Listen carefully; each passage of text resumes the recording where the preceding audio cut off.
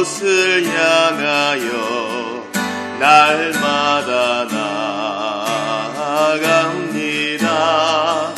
내 뜻과 정성 모두어 날마다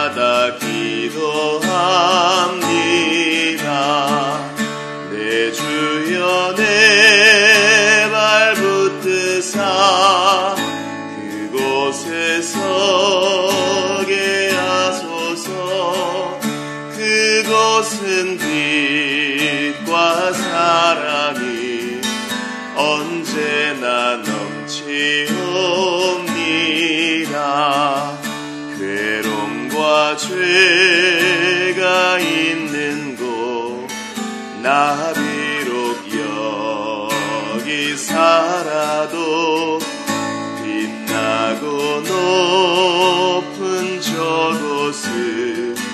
날마다 바라봅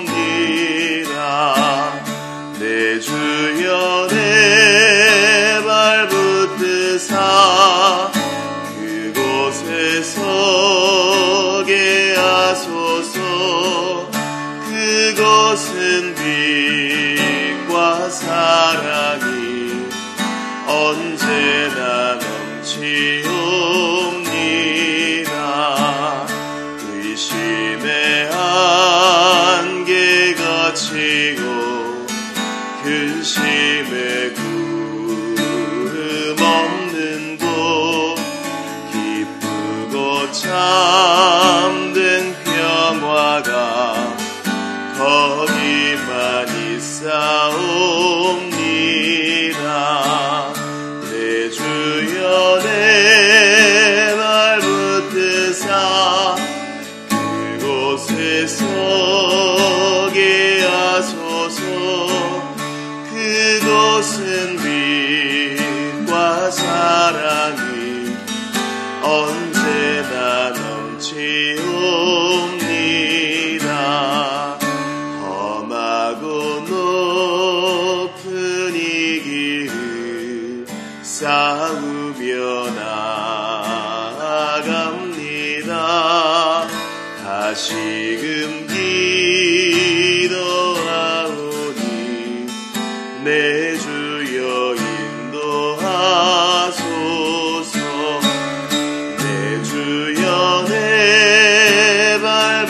발붙드사 그곳에 서게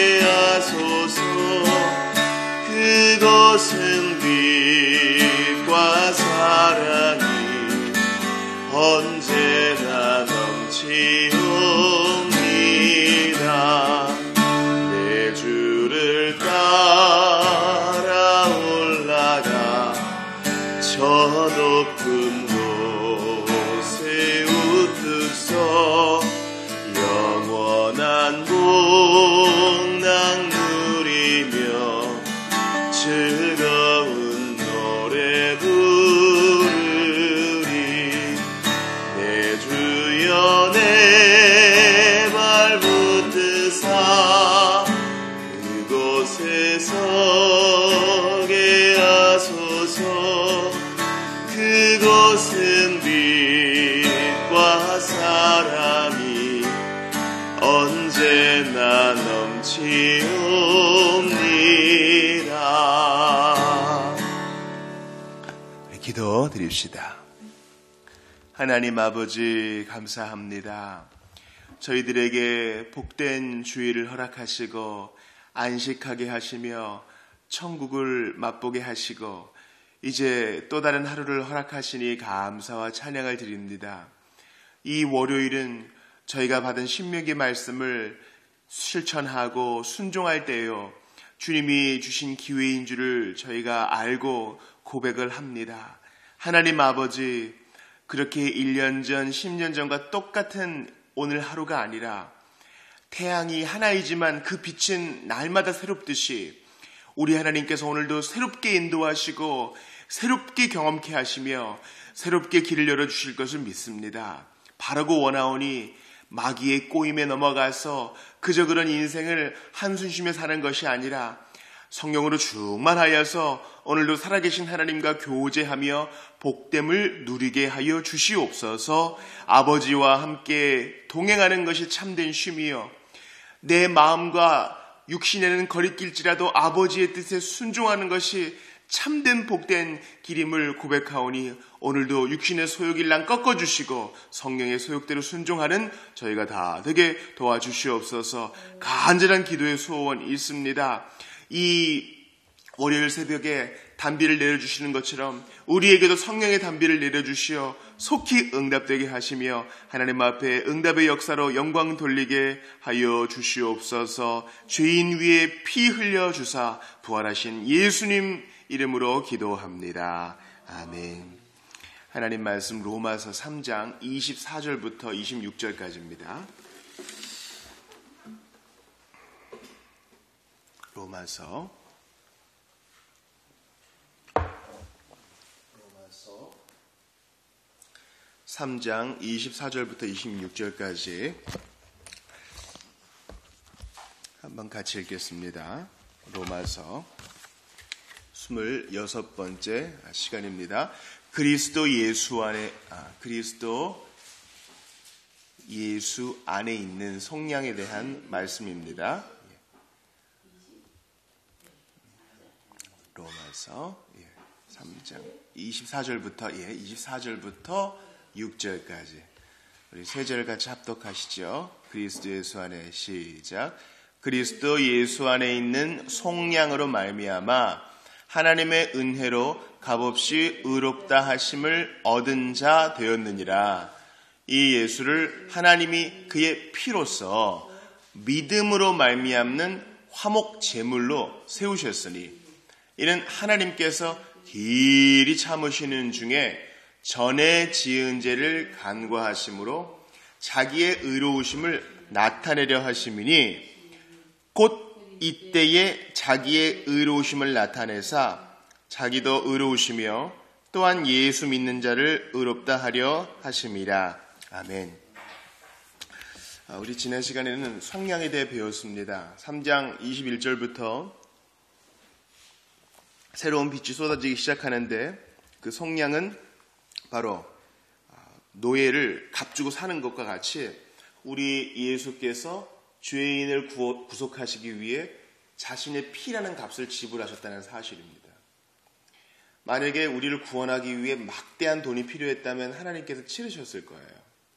그러나 피의 값은 바로 생명이기 때문에 히브리서 9장 22절에서 말하는 것처럼 피 흘림이 없은즉 상함이 없다 했기 때문에 우리 예수께서 그 피로 보혈로 값주시고 우리를 사셨습니다. 그래서 그 진노가 만족되었고 아, 우리는 이제 하나님 앞에 의롭다 하심을 역임받는 칭함받는 존재가 된 것입니다. 오늘은 이 3장 25절을 중심으로 여러분과 은혜를 나누기를 원하는데 특별히 우리가 주목해 봐야 할 아, 어구가 바로 화목제물이라는 어, 부분이에요. 이 단어에 좀 집중하시기 바랍니다. 왜냐하면 우리가 25절을 읽을 때 간과하심으로에 너무 집중하는 경향이 있어요. 그러니까 하나님이 전에 지은 죄를 간과하심으로 아 이게 하나님께서 의롭다는 방식이구나 이렇게 생각하기가 쉬워요. 간과란 것은 뭐예요? 지나쳐 보는 거죠. 그러니까 다 지난 일이니까 없던 일로 하자. 사람 사이에서는 그런 일이 많이 있을 수 있어요. 그러나 여러분 한 재판장이 있다고 생각합시다. 우리 가족 중 하나를 성폭행하고 아주 처참하게 살인한 죄인이 있어요. 그런 범죄자가 있다고 합시다. 제가 이제 재판석에 가족의 한 사람으로서 증인으로 딱 위치해 있어요. 포승줄을 묶여가지고 아, 이제 죄인이 이제 살인죄를 지은 아, 재판받기 위해서 피고 갔습니다. 근데 검사가 합당한 증거를 다 제공했어요. 슬라이드도 제공하고 사진도 제공하고 또 알리바이도 완벽합니다. 범인인 게 확실해요. CCTV도 있어요. 근데 재판장이 싱글벙글 웃으면서 여러분 우리는 함께 사는 사회입니다. 이 사람을 용서해 주기로 결정하겠습니다. 이러면 재판장이 가만히 있겠습니까? 옳은 일을 한 사람에게는 상을 주고 죄인에게는 마땅히 화를 내는 것이 분노하는 것이 정의예요. 그런데 21세기를 사는 온 세계 사람들, 특별히 이제 이른바 선진국에 사는 사람들, 대한민국도 마찬가지죠. 진노하시는 하나님에 대해서 상당히 낯설게 생각해요. 하나님은 그저 지니처럼 좋은 일만 해주기를 원해요. 그것은 뭡니까? 죄에 대해서 그만큼 생각하지 않기 때문입니다. 자, 다시 재판적 얘기로 돌아옵시다. 우리 하나님께서 전에 지은 죄를 간과하심으로 의롭다 하셨다 했는데 그것은 어떻게 해서 간과하시게 된 것인가를 잊었기 때문이에요. 자, 그 앞을 봅시다. 어떻게 해서 간과하시게 됐어요? 예수를 하나님이 그의 피로써 믿음으로 말미암는 화목 제물로 세우셨기 때문에 그 예수의 보혈을 믿는 자마다 간과하심을 얻게 된다는 거예요. 아, 그러니까 하나님이 어떻게 재판장 대신 하나님께서 어떻게 죄 없는 것으로 인정하고 방면해 줍니까? 그 피 때문에 이 중요해요.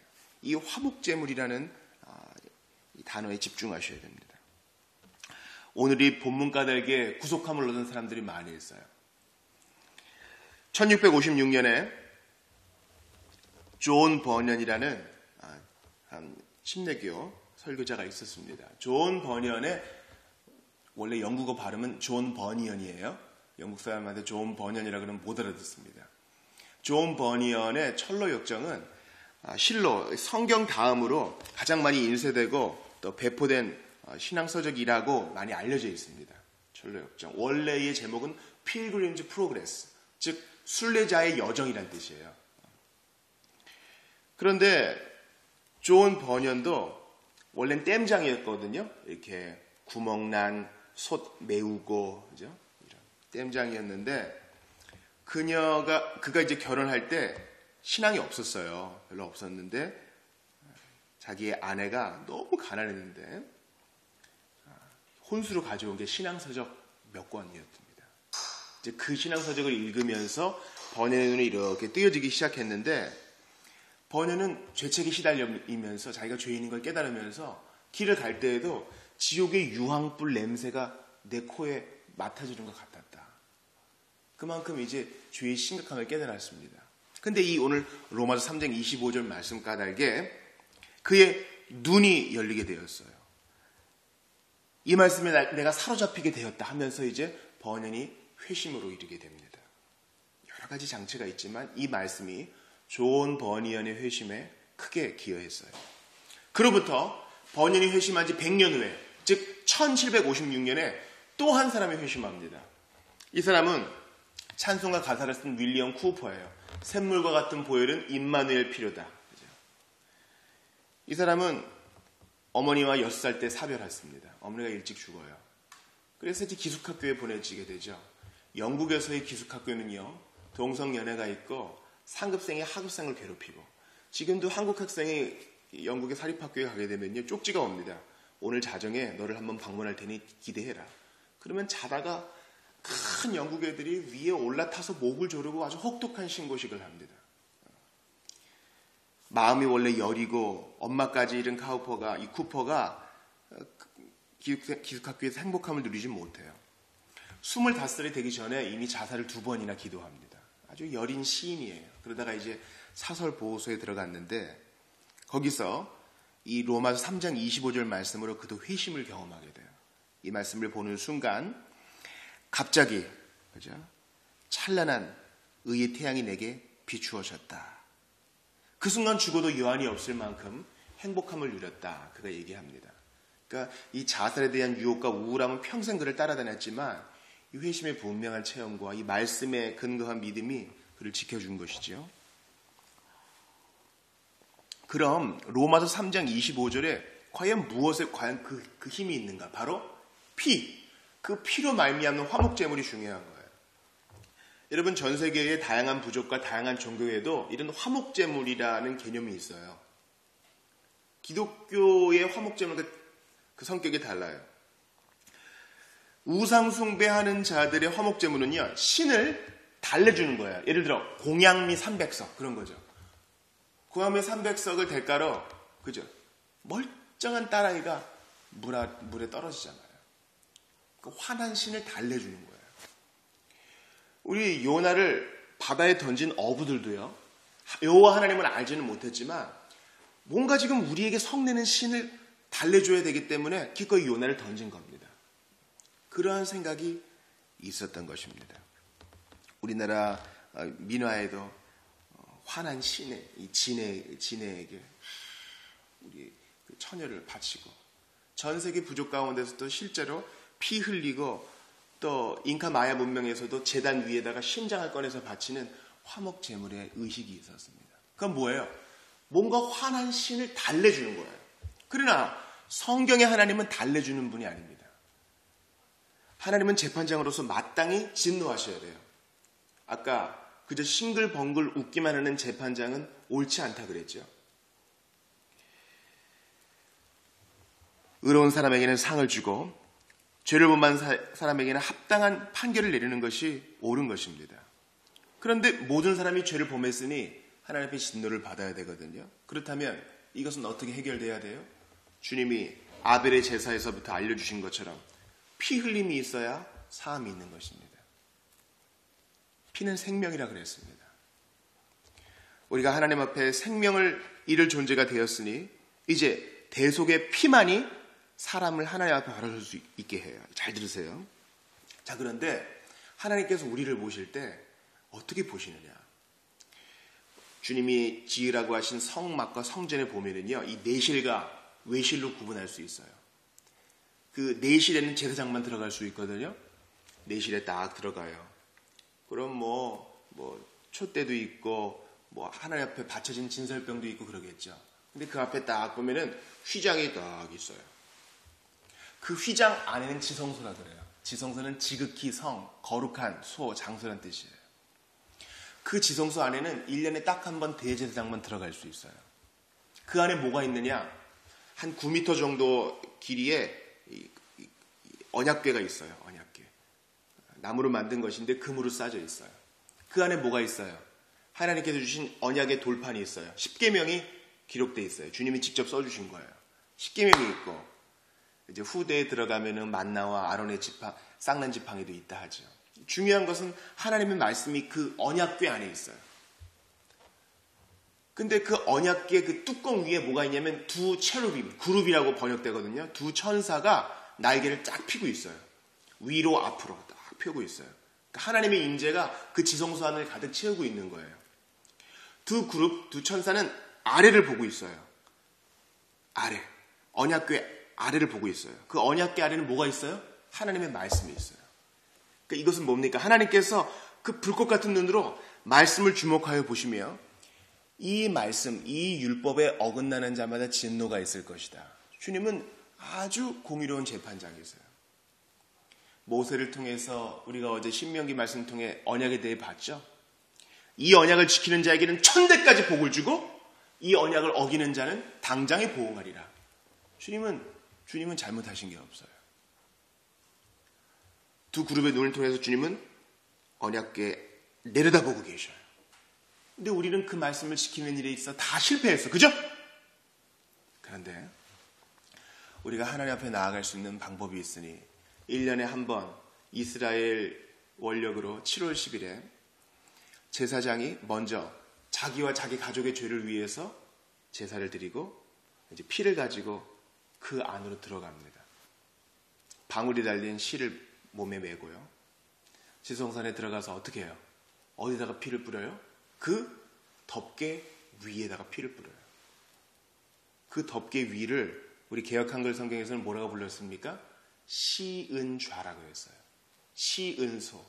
은혜가 현시되는 곳이라고요. 여러분 이 개념을 잘 아셔야 돼요. 불꽃 같은 눈으로 언약의 말씀을 내려다보면서 언약을 지킨 자에겐 복을 주시고 언약을 어긴 자에겐 당장에 보응하신 하나님이 계셔요. 근데 우리는 모든 사람이 죄를 범하였음에 그 불꽃 같은 눈에서 절대 진노 벗어날 수 없어요. 그죠? 그런데 대제사장이 피를 씌운 자에 뿌리니까 모든 사람의 죄가 사하여지고 하나님 앞에 나아갈 수 있게 된 거예요. 근데 그 대제사장의 의식은 1년마다 계속 반복해야 돼. 그죠? 그런데 성경은 뭐라고 말해요? 이 대제사장이 누구라? 예수 그리스도라. 이 피가 누구의 피라? 그리스도의 영단번의 피라. 그러니 더 이상 이런 제사가 필요 없고 폐하여졌고 믿음으로 말미암아 하나님 앞에 불꽃 같은 눈으로 내려다보시는 하나님 앞에 설 수 있게 됐다는 거예요. 그게 25절 말씀이에요. 이 예수를 하나님이 그의 피로써 믿음으로 말미암는 화목제물로 세우셨으니 쉬운 죄에 그리스도께서 직접 대제사장 되시고 자신이 직접 제물 내셔서 그 피를 시은좌에 뿌리셨으니 이제는 은혜밖에 없다는 겁니다. 이는 하나님께서 길이 참으시는 중에 지은 죄를 간과하심으로 이 화목 제물을 믿는 자마다 그 피에 씻김 받은 자마다 그 죄가 간과되어서 윌리엄 쿠퍼처럼 존 버니언처럼 하나님 앞에 놀라운 회심의 경험까지 이어진다는 사실입니다. 이러한 죄 사함의 목적은 바로 자기의 의로우심을 나타내고자 하십니다. 사랑하는 여러분, 화목제물은 화난 하나님을 그냥 달래주는 것이 아니에요. 하나님의 모든 진노가 그 피를 흘리신 예수에게 다 쏟아졌어요. 여러분 이걸 믿으셔야 됩니다. 이게 기독교의 근본 교리예요. 마냥 웃기만 한 하나님 동시에 죄 지은 자에 대해선 악행에 대해선 진노하시는 하나님께서 모든 인류에게 쏟아 부어져야 될 그 화를 진노를 예수에게 쏟아 부으셨어요. 언제까지? 그리스도가 죽으실 때까지. 이제 부활하신 예수를 믿는 자마다 하나님께서 모든 죄를 너 누구더라? 죄를 하나도 안 지은 자로 봐주시고 깨끗한 자로 봐주시고 하늘나라로 너는 들어오기에 합격. 너는 마땅히 들어올 자리야. 지금 천국의 잔, 잔치 자리가 벌어졌는데 네 자리가 준비되어 있어. 잘했다. 하나님이 칭찬해 주시는 자로 세움 받게 된다는 사실입니다. 그러므로 예수의 피, 예수의 피, 예수의 피밖에 없는 거예요. 그 피를 믿는 자마다 당당하게 나아갈 수 있게 되는 겁니다. 미국 대통령에게는요, 여러 가지 절차가 있어요. 그 앞에 누가 갈 수 있어요? 여러 사람이 여러 절차를 거쳐야만 그 앞에 설 수 있어요. 그러나 들어갈 수 있는 자가 있어요. 거리낌 없이. 그 아들, 그 딸은 마음대로 집무실에 들어갈 수 있죠. 마찬가지예요. 진노하시는 하나님, 죄에 대해서 진노하시는 하나님 앞에 누가 당당히 나아갈 수 있어요? 예수의 피를 씻김 받고 하나님의 자녀가 된 자만 들어갈 수 있게 되는 것입니다. 우리 이 시간 좀 같이 기도합시다. 여러분, 이 복음의 말씀은요, 우울증 환자를 고쳐놓고 비참에 빠져서 허덕이던 사람에게 자유를 줍니다. 이 복음의 교리를 마음에 굳게 붙드시고 예수께서 죄인 위에서 피 흘리셨다는 이 단순한 믿음을 마음에 새기십시오.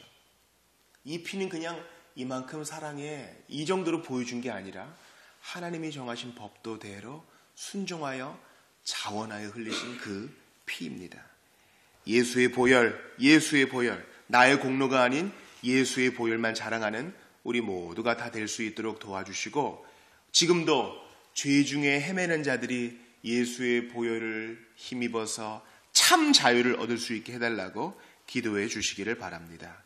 이 시간 기도할 때 오늘 본문 말씀 붙들고 기도해 주시고요. 우리 연약한 자들, 교우들을 위해서 기도해 주시고 정말 이렇게 비가 내리고 있는데 이 세대에 아직도 돌아오지 못한 자, 악행을 저지르는 자를 향한 하나님의 눈물이라고 해도 그대로 적용이 될 것 같아요. 어려운 일들이 많이 있고 어그러진 공의가 있는데 하나님 속히 바로잡게 하여 주시옵소서. 간절히 기도하시고 우리 자신을 위해 기도하시다가 또 개인 기도하시고 돌아가시기 바랍니다. 같이 기도합시다.